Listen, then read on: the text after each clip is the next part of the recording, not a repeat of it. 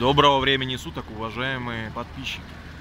Сегодня я хочу вам продемонстрировать то, что сейчас так сильно обсуждается в интернет-сетях. На фоне данного карантина в небе на территории России многими людьми был замечен светящийся объект.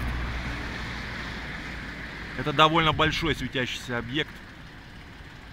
Поначалу я подумал, что это полярная звезда, но нет. Она находится не на Северном полюсе, то есть в той стороне компас показывает, что это не Северный полюс.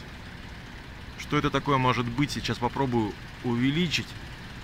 У меня хоть на телефоне неплохое качество, но этот объект довольно-таки крупный, и его камера может зафиксировать.